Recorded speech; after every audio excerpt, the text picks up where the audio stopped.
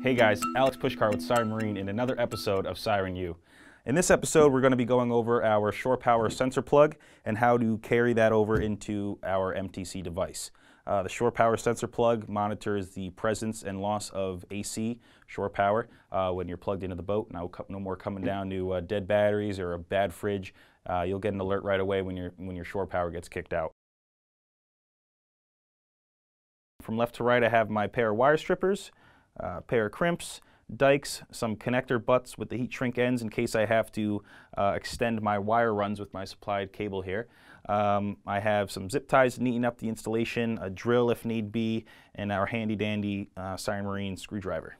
Um, so we're going to dive right in and get into this. Um, obviously, uh, we have our shore power sensor plug here, and just out of the, uh, the, the sleeve, I have two wires. I have a positive and negative wire.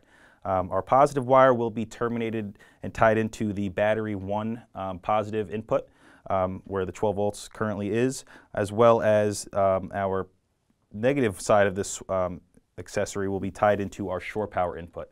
So to go in, I'm going to go and I'm going to start by terminating the black wire out of the shore power sensor plug uh, directly into shore power. I'm going to open up shore power.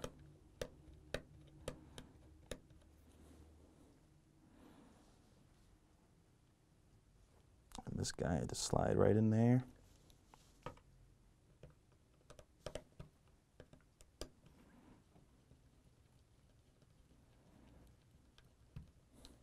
And then the positive side is just uh, does get tied in with the existing um, positive connection from your, your power source. So what I'm going to do is I'm going to unscrew our battery 1 connection.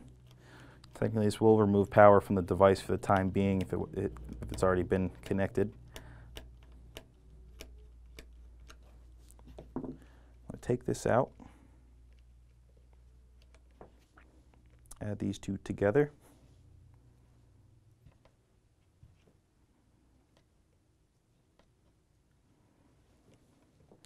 I'm going to terminate both of them into battery 1.